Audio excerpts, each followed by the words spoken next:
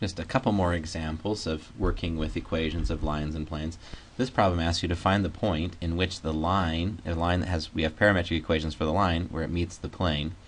What we're really looking for is a choice of t where the x, y, and z coordinate would also lie in the plane, so they'd have to solve this equation.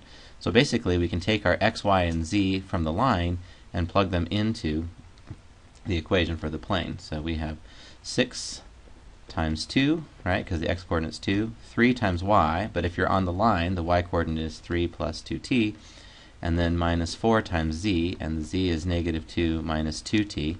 That has to equal negative 12. So if we multiply out here, we get an equation for t. So we have 12 plus 9 plus 6t. Um, negative 4 times negative 2 would make plus 8. Negative 4 times negative 2t would make plus 8t. Has to equal negative 12. So let's combine some things here. We have um, uh, 6t and 8t make 14t, and 8 and 12 make 20, and 9 make 29. So 14t plus 29 equals negative 12. So 14t, let's see, that makes negative, if we take 29 away from this, taking away 30 would give negative 42, so we get negative 41. So t equals negative 41 over 14. This tells us what what t what value of t when we lie on the line. So now we can we can find um, the actual point on the line. So we know that the that the x coordinate is going to be 2. The y coordinate of that point on the line is going to be 3 plus 2t, so that's going to be 3 minus 41 over 7, since 2 times negative 41 over 14 is negative 41 over 7. And finally, the z-coordinate is going to be negative 2 um, plus 41 over 7. With a little simplifying here, we can see the location is 2. Let's see, this is 21, um, 21 sevenths minus 41 sevenths would be negative 20 sevenths.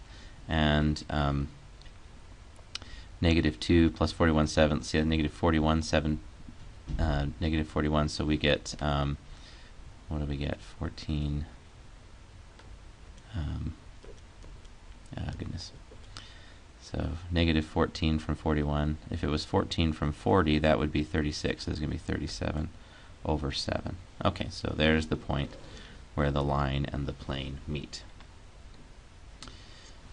Here's one when we're to we're supposed to parameterize the line in which these two planes meet. So we want to find where do these two planes come together at. So what we could do is we have two planes. So we've got a plane like this, and then another plane intersecting that plane. And we're trying to find the equation of that line of intersection of the two planes. So where do these two planes end up meeting? Well, we, we could find a vector.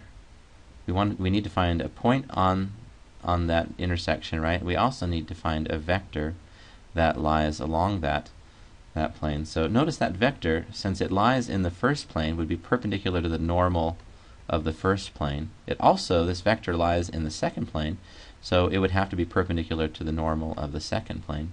So if we read off the normals to these two planes and take their cross product, that would give us a vector that is parallel to the vector we're looking for. So um, if we read off the first normal, the coefficient of x is 5, the coefficient of y is negative 2, and the coefficient of z is 0. Looking at the, the second normal, the coefficient of x is 0, the coefficient of y is 4, and the coefficient of z is negative 5. So there's the two normals. To find something that is perpendicular to both normals, we can just cross them. So we'll just find the determinant here. We have i times 10 minus 0. We have j, let's see, the, the determinant of j is negative 25 minus 0, but j is in a negative position, so we get plus 25. And then the k is 20 minus 0, so we get this, this vector 20. So this gives us um, a vector v that we can use to parameterize the line. So this vector lies along the line, and we just need now a point on the line. So we're going to have to find a point that satisfy that lies um, that lies on the line. It would have to satisfy both equations at once. This is a system of equations that we need to solve here. 4y minus, uh, uh oh we have a system of equations that we need to solve. 5x minus 2y plus 0z equals 11, and then we have 4y minus 5z equals negative 17. So we could make, um, we have a free, we have this freedom here. We could make any choice of value for z. So let's see. If I chose z to be negative 1, then I'd have, oh, let's see. If I chose z to be 1, then I'd have a 12 over there. That might be nice. So I can make any choice for z. I just see if I make the choice z equals 1, then I'll have 4y minus 5 equals negative 17. So 4y equals negative 12. That's going to tell me that y equals um, negative 3. And now that I know that y is negative 3, I can go up here to this equation for x. 5x minus 2 by, 2y, but if, if y is um, negative 3, then we're going to have 5x plus 6 equals 11. So 5x will equal 5, so x will equal 1. So now we have a point on the line that will be r naught.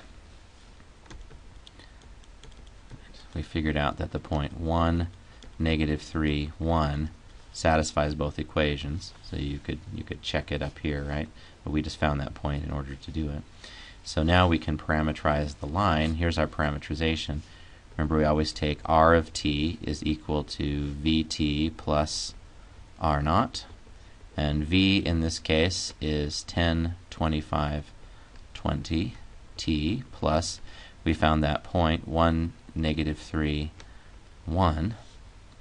And so we get 10t plus 1, 25t minus 3, and 20t plus 1. So here's the equation of the line where the two planes meet.